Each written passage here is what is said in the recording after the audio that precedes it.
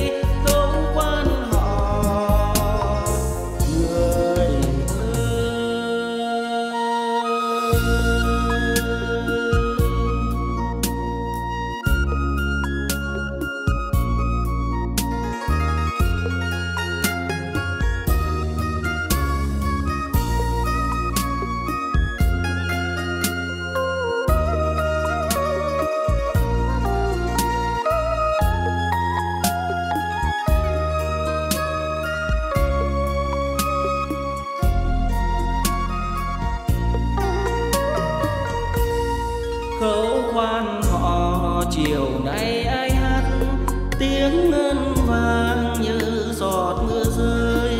Tiếng chim hót ngọt ngào lành lót, mà để hồn ai chơi vơi chơi vơi.